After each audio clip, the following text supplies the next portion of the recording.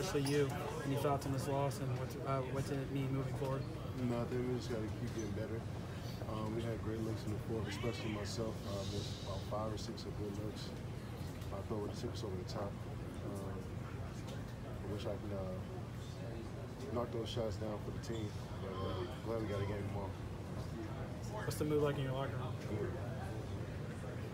Kevin, even with the result not being what you wanted, what do you think accounted for a lot of the good play overall, just from top to bottom? Yeah, like uh, Damion Lee came out and gave us some good minutes. Uh, Marcus Derrickson, two uh, two-way guys that we brought up, came in and played great for us. Um, we had great looks all game that we just didn't knock down. Um, so uh, we, if we generate those shots, we like our chances.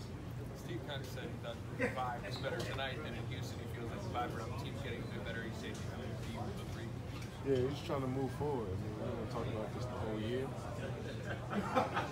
we just want to play ball. You know, that's all. I like. What are your thoughts on Luka Doncic? I like him a lot. He's probably Going to put on your team this week. What's the mood like in the locker room? always attention on our team forever. We're the back-to-back champions, and um, we feel great. Obviously, tonight stings, but uh, we play with great energy, great effort. We shoot a great percentage. Having these last few games, that's basketball, and we'll get it back tomorrow. Klay, even though you guys didn't get the result you wanted, what do you think counted for like the energy? That was good. Uh, It was good. It was really good. I mean, we were flying around defense. Uh, our guys off the bench came in and made a huge impact. And um, energy's great. Keep that up the whole year. We'll be in a great position to win it all again. Where's your frustration level right now with your shot?